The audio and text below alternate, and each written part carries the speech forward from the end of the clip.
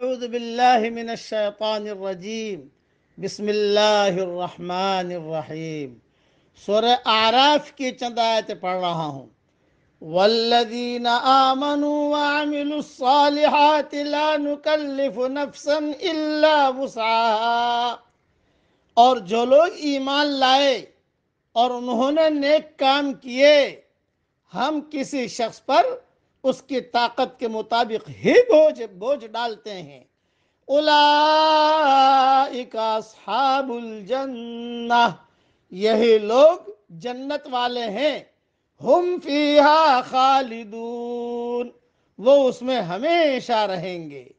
वनज़अना मा फ़ी सुदूरिहिम तजरी मिन तहतिहिमुल अनहार। और उनके सीने की हर रंजिश को हम निकाल देंगे। उनके नीचे नहरें बह रही होंगी। हदाना लिहादा और वो कहेंगे कि सारी तारीफ़ अल्लाह ही के लिए है, जिसने हमको यहाँ तक पहुँचाया। वमा कुन्ना लिनहतदिय लौला अन हदाना अल्लाह और हम राह पाने वाले न थे। अगर अल्लाह हमको हिदायत न देता, लक़द जाअत रुसुल रब्बिना बिल हक़। हमारे रब के रसूल सच्ची बात लेकर आए थे।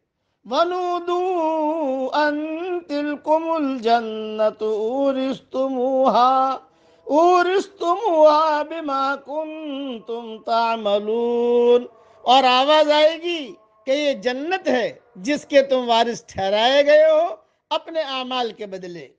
इन आयत की तशरीह सुन लीजिए। गिल उस कीने और बुस को कहा जाता है जो सीनों में मस्तूर और छुपा हुआ हो। अल्लाह ताला अहल जन्नत पर ये इनाम भी फरमाएगा कि उनके सीनों में एक दूसरे के खिलाफ बुग्ज अदावत के जो जज्बात होंगे, वो दूर कर देगा। फिर उनके दिल एक दूसरे के बारे में आईने की तरह साफ़ हो जाएँगे। किसी के बारे में दिल में कोई कदूरत और अदावत नहीं रहेगी। हदीस शरीफ में है, जन्नतियों को जन्नत और दोजक के दरमियान एक पुल पर रोक लिया जाएगा और उनके दरमियान आपस की जो ज्यादतियाँ होंगी, एक दूसरे को उनका बदला दिया दिलाया जाएगा। हती कि जब वो बिल्कुल पाक साफ़ हो जाएँगे तो फिर उन्हें जन्नत में दाखिले की इजाज़त दे दी जाएगी। सही बुखारी में यह हदीस मौजूद है। जैसे साहब कराम रिदवान मजमैन के बाहमी रंजिशें हैं, जो सियासी रकाबत में उनके दरमियान हुई। हज़रत अली रदी अल्लाह तु का कौल है, मुझे उम्मीद है कि मैं उस्मान और तलहा और ज़ुबैर रदी अल्लाह तुम उन लोगों में से होंगे जिनके बारे में अल्लाह ने फरमाया, व नज़ाना माफ़ी सदूरमिन गिल. ये सारी तफसील तफसर इब्ने कसीर के अंदर देख ली जाए।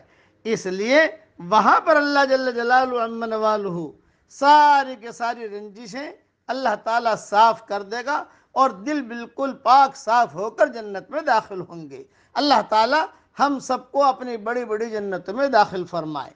आमीन। वाखर दावाना अनिलहमदिल्ला रब्बिल आलमीन।